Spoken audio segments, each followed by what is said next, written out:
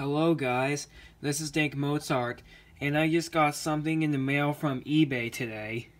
And this tape is very rare. This is the 2006 VHS of Thomas and Friends Tales from the Tracks. Yes, we actually do have this tape now, after a long time. I know that Fabian and Abuya those back have this tape, but we have as but I have it as well too. So, front, spine, our spine, top, back. And yes, this is actually the uh, last Thomas and Friends chest ever released in the U.S. As you can see on the back, has a, Dale with Thomas face for one of the, the right image on there, which is weird.